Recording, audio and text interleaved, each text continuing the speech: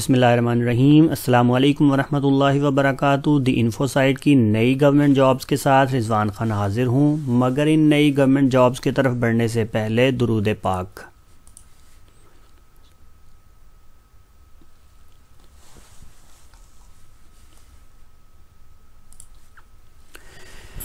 जी, आज फिर से आप लोगों के लिए ताज़ा और नई गवर्नमेंट जॉब्स लेके आया हूँ। कौन कौन सी असामियाँ हैं? क्या क्या रिक्वायरमेंट्स हैं? अप्लाई करने की फ़ीस कितनी है? कैसे अप्लाई करना है? और अप्लाई करने की आखिरी तारीख क्या है? ये सब बातें आपको बताऊँगा। मगर इससे पहले अगर आप लोगों ने मेरा चैनल अभी तक सब्सक्राइब नहीं किया तो करके बेल आइकन दबा दें ताकि आने वाली हर नई जॉब का नोटिफिकेशन आपको वक्त पर मिल सके और आप इसमें वक्त पर अप्लाई कर सकें। अगर आपके बहन, भाई कज़न्स या गली मोहल्ले में कोई बेरोज़गार है और अच्छी गवर्नमेंट जॉब की तलाश में है तो इसे हमारे चैनल के बारे में ज़रूर बताएँ। हो सकता है मेरी और आपकी थोड़ी सी कोशिश से किसी बहन, भाई को रोज़गार मिल जाए, और अगर ऐसा हो गया तो ये हम गुनाहगारों के लिए अजर का बाइस होगा। जी, आज जो मैं आप लोगों के लिए जॉब्स लेके आया हूँ, बहुत ही कमाल की हैं। सिंध के बेरोज़गार नौजवानों के लिए बहुत बड़ी खुशखबरी है जी। सिंध पुलिस के अंदर 2000 असामियाँ, जी हाँ 2000 असामियाँ जो हैं, वो उनके ऊपर भर्ती स्टार्ट हुई है। स्पेशल सिक्योरिटी यूनिट होता है जी पुलिस के अंदर, एक एस एस यू जिसको बोला जाता है। उसके अंदर दो हज़ार असामियाँ हैं, तनख्वाह का पैकेज है तरतालीस हज़ार रुपया, यानी फोर्टी थ्री थाउज़ेंड रुपीज़ महाना। और पूरे सिंध के जो लड़के हैं, लड़कियाँ हैं, वो इसके अंदर अप्लाई कर सकते हैं। पहले हम रीजन वाइज कोटा देख लेते हैं, कितना है। मैं आपको एंड में बताऊँगा वेबसाइट पे जाके भी ऑनलाइन कैसे अप्लाई करना है। वीडियो के साथ जुड़े रहिएगा। सबसे पहले हम लोग रीजन वाइज कोटा देख लेते हैं। जी, सखर रीजन है, जिसके अंदर ये ये ये वाले अजला हैं, सारे ये इसके अंदर आते हैं। इसकी कुल आसामियाँ 717 हैं। और उसके बाद जनाब आता है हैदराबाद रीजन इसके लिए 925 असामियाँ हैं टोटल और उसके बाद आता है कराची रीजन और कराची रीजन के लिए तीन सौ अट्ठावन असामियाँ हैं। रीजन वाइज सीट्स मैंने आप लोगों को बता दी हैं। इसके लिए जितनी भी रिक्वायरमेंट्स हैं, वो सब रीजन्स के लिए सेम हैं। वो हम लोग अब देख लेते हैं। जी क्वालिफिकेशन जो है, वो मैट्रिक चाहिए। जी, तीन तरह की असामियाँ हैं। पहले ये देख लें, पुलिस कांस्टेबल है, इनको चाहिए, लेडीज़ कांस्टेबल चाहिए और ड्राइवर कांस्टेबल। ये तीन तरह की असामियाँ हैं जी। तीनों के लिए जो क्वालिफिकेशन है, वो मैट्रिक चाहिए। जो ड्राइवर हैं, उनके लिए मैट्रिक के साथ एलटीवी का वैलिड लाइसेंस होना चाहिए। एज लिमिट तीनों में थोड़ा सा डिफरेंस है। पुलिस कांस्टेबल और लेडीज़ कांस्टेबल के लिए 18 से 28 साल और जो ड्राइवर कांस्टेबल है, उसके लिए 21 से 28 साल। फ़िज़िकल स्टैंडर्ड्स की बात कर लेते हैं जी जो पुलिस कांस्टेबल्स हैं, उनको, उनकी जो चेस्ट है वो 33 थ्री बाई थर्टी और जो हाइट है वो पाँच फुट पाँच इंच होनी चाहिए। इनकी जो रनिंग है वो एक अशारिया छह किलोमीटर होगी सात मिनट के अंदर।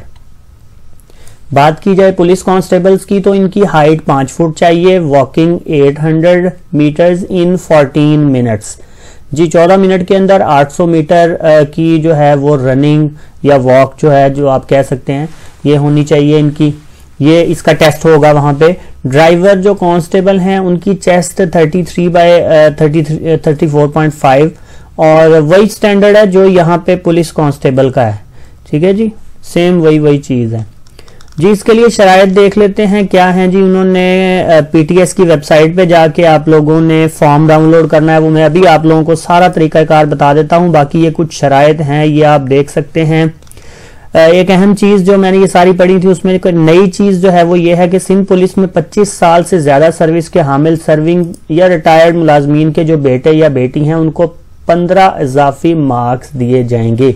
जी, जो लोग सिंध पुलिस में हैं रिटायर हो चुके हैं या सर्विंग है 25 साल की सर्विस है उनकी तो उनके बच्चों के लिए बड़ी अच्छी बात है, उनको 15 इजाफी मार्क्स दिए जाएँगे।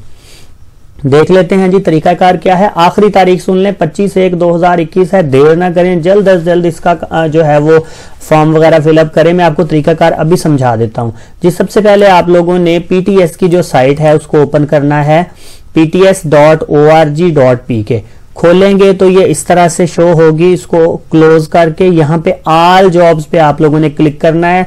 जैसे ही आप क्लिक करेंगे तो ये आपके पास ओपन हो जाएगा पेज ठीक है? यहाँ पे ये देखें, सिंध पुलिस की ये वाली जॉब्स हैं। ये देखें, ये कराची रीजन ये हैदराबाद रीजन ये सखर रीजन आप जिस भी रीजन से ताल्लुक रखते हैं, वो आप अपना ज़िला यहाँ से चेक कर लें। ठीक है जी? ये सखर रीजन के डिस्ट्रिक्ट्स हैं सारे। ठीक है? और ये जो हैं जी, ये हैदराबाद रीजन के हैं। और अगर आप कराची से हैं तो वो तो आपको पता ही होगा। जी फॉर एग्जांपल मैंने ये कराची रीजन को ओपन किया है। ये इंग्लिश में एडवर्टाइजमेंट उर्दू में एडवर्टाइजमेंट और ये आपका एप्लीकेशन फॉर्म है। फॉर एग्जांपल मैं पुलिस कांस्टेबल का एप्लीकेशन फॉर्म ओपन करता हूँ तो ये मैंने ओपन किया हुआ है यहाँ पे। जी, ये है पुलिस कांस्टेबल बीपीएस फाइव है। इसकी फ़ीस देख लेते हैं जी, कितनी। ये सारा इसका फॉर्म है जी।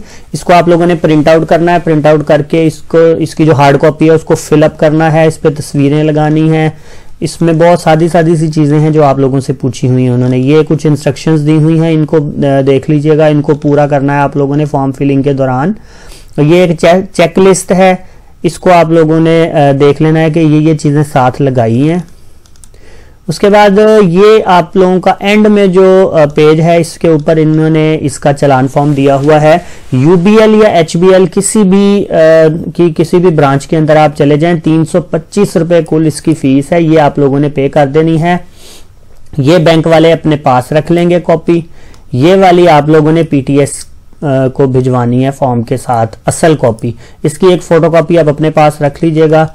ये सारा फॉर्म फिलअप करने के बाद आप लोगों ने असल जो कॉपी है, बैंक चलान की, वो साथ लगानी है और ये जो फॉर्म है, इनको आप लोगों ने ये पीटीएस का हेडक्वार्टर का जो एड्रेस है, इसके ऊपर आपने डाक के ज़रिए या कोरियर के ज़रिए से भिजवा देनी है। Pakistan testing service PTS PTS headquarter third floor Adeel plaza Fazal Haq road blue area Islamabad. आपसे गुजारिश है कि अगर आपके इर्द गिर्द कोई जॉब की तलाश में है तो इसे मेरी ये वीडियो ज़रूर शेयर करें। हो सकता है हमारी इस छोटी सी कोशिश से किसी का भला हो जाए। मिलते हैं किसी और गवर्नमेंट जॉब के साथ। तब तक के लिए अल्लाह हाफिज़।